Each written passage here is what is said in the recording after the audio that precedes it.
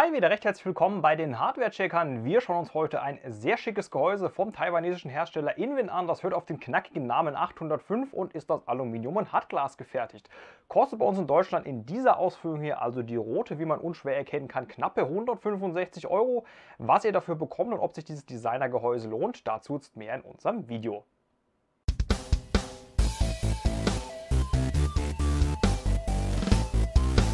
Ja, der Hersteller Inwin war schon immer bekannt für seine extravaganten Gehäuse, besonders was die Materialwahl angeht, denn dieses Gehäuse hier ist wie angesprochen aus Hartglas gefertigt. Somit muss man hier etwas vorsichtiger sein, wie zum Beispiel bei sonstigen Plastikkonsorten, die man sonst so in der Hand hat, denn das kann ziemlich schnell in die Brüche gehen, sprichwörtlich natürlich. Besonders in dem Gehäuse ist jetzt einfach das Design und es handelt sich hierbei auch um, trocken gesagt, um ein Showcase. Das gibt es bei uns in Deutschland für die rote oder die goldene Variante, je nachdem welche Farbe ihr da haben möchtet, für knappe 165 Euro. Die schwarze Variante, also schwarz bezieht sich immer auf den vorinstallierten Lüfter, die Beleuchtung hier an der Seite des Inwin-Schriftzugs sowie das RO-Panel bzw. die Blende davon. Das gibt es bei uns in Schwarz dann für 130 Euro. Sprich, wenn euch die Farbe Wurst ist oder ihr euch die schwarze Variante gerne kaufen möchtet, da spart ihr dann 30 Euro. Besonderheiten an dem Gehäuse ist zum einen, ihr seht schon eine durchgehende Front, die ebenfalls aus Glas gefertigt ist mit einem Wabenmuster hier. Wie das dann später mit Beleuchtung aussieht, schauen wir uns noch genauer an. Weitere Besonderheit neben dem Hartglas ist, im Deckel werden keine Lüfter verbaut. Das hat designtechnische Gründe. Somit habt ihr hier nur einen Airflow dann von vorne unten nach hinten raus. Auch dazu dann später noch mehr, wenn alles eingebaut ist. Ansonsten ist es ein normales MIDI-Gehäuse und das schauen wir uns jetzt genauer an. Schauen wir uns den Lieferumfang kurz an bei 165 Euro Gehäuse. Da ist nämlich einiges dabei hier. Zum einen erst einmal eine kleine Anleitung, die sieht so aus. Es wäre ja sehr cool gewesen, wenn das ganze Teil gebunden wäre, denn das hier ist mehr so ein kleiner äh, Stadtplan. Da hat man dann gleich wieder ein paar Quadratmeter Papier auf dem Boden. Aber nichtsdestotrotz ist hier drin alles sehr gut erklärt. Weiterhin dabei ist hier eine Tasche mit sämtlichen Schrauben, Kabelbindern etc., um hier alles sauber zu verlegen. Eins sei gesagt, lasst euch Zeit bei der Kabelverlegung, denn dann, wenn ihr das hier richtig macht, sieht das Ganze mehr als fett aus am Schluss. Weiterhin dabei ist hier dieses Wischtuch. Damit könnt ihr euer Gehäuse dann abputzen. Und welchen Vorteil hat ein echtes Glasgehäuse? Klar, ihr könnt da einfach von eurer Mom zu Hause den Glasreiniger stibitzen und das Ganze dann richtig schön blank putzen, wenn es dann mal etwas Staub angesetzt haben sollte. Somit sind auch gleich die richtigen Reinigungsmittel im Haus. Weiterhin dabei, was ich sehr cool fand, ist dieser Saugknopf-Kopfhörerhalter hier. Den könnt ihr zum Beispiel an das Gehäuse dran machen per Saugknopf und dann da euer Headset dranhängen. Das ist natürlich abhängig, wo ihr das Teil jetzt hinstellt und ob ihr da gut drankommt, aber der hält natürlich auch an anderen Oberflächen. Nichtsdestotrotz finde ich ein sehr cooles Gimmick und finde ich auch sehr cool, dass das hier dabei liegt. Werfen wir einen Blick ins Innere des Inwin 805. Dafür ist zuerst einmal vonnöten, das Seitenteil zu demontieren. Dafür empfehle ich, wie Inwin auch, das Gehäuse auf die Seite zu legen und die Glasplatte vorsichtig abzuheben. Wenn ihr das in dieser Situation hier tut, wie es auf dem Tisch steht, dann kann es sein, dass die Glasplatte kaputt geht und das wäre ja sehr schade. Habt ihr das dann geschafft, dann sieht das Ganze so aus. Wir fangen einfach mal etwas außerhalb an. Der Inwin-Schriftzug hier, der leuchtet im Betrieb in der entsprechenden Farbe, in der ihr das Gehäuse erworben habt. Das ist bei uns hier dann rot. Das sehen wir später noch, wie das aussieht. Dann, es ist ein normales MIDI-Gehäuse natürlich. Da passen ATX, Micro ATX sowie ITX Mainboards rein. Acht PCI-Slots stehen zur Verfügung für Erweiterungskarten. Erweiterungskarten können hier bis zu 32 cm lang sein. Die CPU-Kühlerhöhe beträgt bei diesem Gehäuse hier 16,5 cm. Da passen auch größere Konsorten rein, wie zum Beispiel der Alpenföhn Olymp. Und für die einfachere Montage der größeren Kühler, wenn das Mainboard sich schon im Gehäuse befindet, ist da auch die obligatorische Backplate-Aussparung vorhanden. Netzteiltechnisch ein normales ATX-Netzteil passt hier unten rein. Besonderheit hier, ihr müsst hier ein Netzteil mit Lüfter verbauen, beziehungsweise das empfiehlt Inwin einfach schon wegen der Temperaturen, denn hier unten gibt es keine Netzteil-Lüfteröffnung. Somit wird das Netzteil dann so positioniert, dass die Luft quasi von dem Netzteil aus dem Gehäuse hier unten rausgesaugt wird. Weitere Besonderheit, das Netzteil ist hier ohne Vibrationsdämpfer gelagert. Ob das dann negative Auswirkungen hat, dazu dann später noch mehr.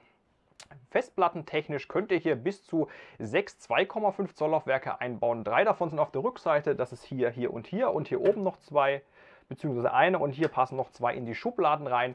Wenn ihr noch ältere Laufwerke habt, wie zum Beispiel ich im 3,5 Zoll Format, dann sind hier zwei Schubladen dafür verfügbar.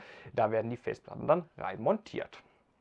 Vorinstalliert im Gehäuse selbst ist ein 120 mm Lüfter, das ist der hier, der leuchtet schon rot. Ebenfalls natürlich die rote Variante hier, deshalb ist er rot. Sehr schön hätten wir es gefunden, wenn im Inwin 805 für den Preis auch in der Front noch mindestens zwei Lüfter vormontiert gewesen wären, denn da gibt es leider keine. In der Front passen noch 220 oder 240 mm Lüfter rein. Allerdings ist in der Front die Lüftermontage sehr gut gelöst, denn da gibt es diesen Rahmen hier, den habe ich schon einmal einfach ausgebaut. Der ist mit einer Schraube vorne fixiert. Den könnt ihr dann rauslösen. Hier könnt ihr dann zum Beispiel die beiden Lüfter reinpacken. Wenn ihr das getan habt, steckt ihr den einfach wieder herein, fixiert ihn mit einer Schraube hier unten und dann ist das alles auch super fest und sehr einfach zu handhaben. Auch geeignet ist das Teil natürlich für Radiatoren oder ihr habt die Möglichkeit, ihr könnt den Festplattenkäfig hier, hier vorne dran versetzen. Dann besteht die Möglichkeit im Boden noch zwei weitere 120 mm Lüfter unterzubringen. Ansonsten, was es noch zu erwähnen gibt, das Inwin, ihr habt es sicher auch schon an der Front gesehen, bietet kein 5,25 Zoll Laufwerksschacht. Das heißt, wenn ihr hier ein CD-Laufwerk einbauen möchtet, das funktioniert das nicht. Da müsst ihr entweder darauf verzichten oder ihr schnappt euch ein USB-Laufwerk. Die Front des Inwin 805 ist erst einmal komplett geschlossen von oben nach unten. Man sieht es hier oben auch schon leicht durchschimmern. Hier ist dieses sehr coole Wabenmuster, was wir später uns noch anschauen werden, wenn das Ganze dann entsprechend beleuchtet ist. Im oberen Rand hier aus Aluminium ebenfalls gefertigt das I.O.-Panel in Rot mit einem Powerschalter, einer Power- und HDD-LED, ein USB 3.1 Typ C Stecker, ein USB 3.0 Stecker in normaler Ausführung, ein Audio-In und ein Audio-Out sowie zwei USB 2.0 Stecker runden das I.O.-Panel ab. Also damit sollte man schon mehr als gut überleben können. Haben dann alle Komponenten ihren Platz im Inwin 805 gefunden, dann kann euer System zum Beispiel so aussehen. Ich habe mich hier für ein schwarz-weiß-rotes Gaming-System auf MSI-Komponentenbasis entschieden. Das erkennt man unschwer an meinem tollen T-Shirt und natürlich an unserem kleinen Freund hier. Das ist ein AMD AM3 Plus System, da ist drauf verbaut ein FX8370E mit einem MSI 990 FXA Gaming zusammen mit einer MSI R9380 Gaming 4G. Ein weißer Matterhorn ist für die Kühlung zuständig, das sieht man hier ja sehr schön. Arbeitsspeicher technisch 16 GB Clef Genoa Speicher, ebenfalls mit weißer dezenter Beleuchtung. Und als Netzteil kommt hier ein Be Quiet Straight Power zum Einsatz mit 600 Watt.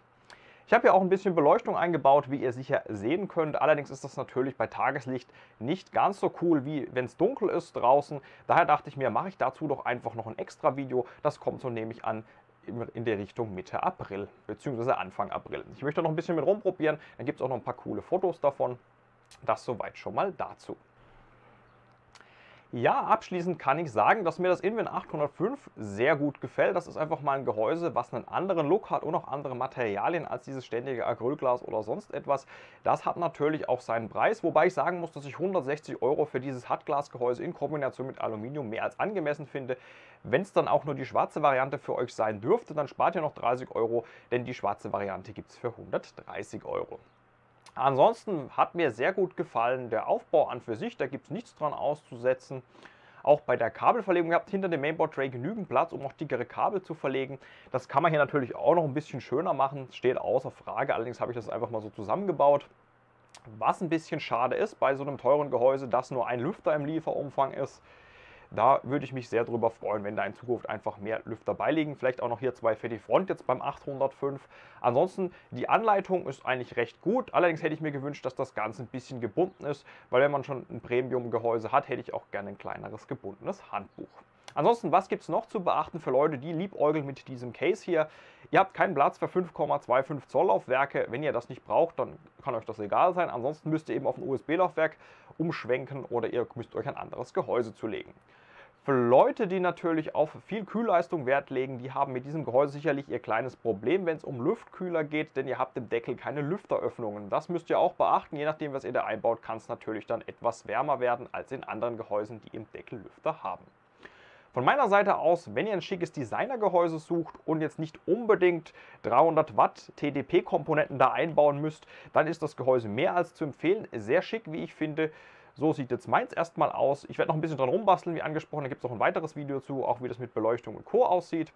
In diesem Sinne, schreibt mir doch in die Kommentare, ist das Gehäuse was für euch oder warum würdet ihr es euch nicht kaufen oder was würdet ihr euch noch wünschen? Ich wünsche euch frohe Ostern natürlich an diesem Ostersonntag heute, wenn ich das hier fertig gedreht habe und bis zum nächsten Mal.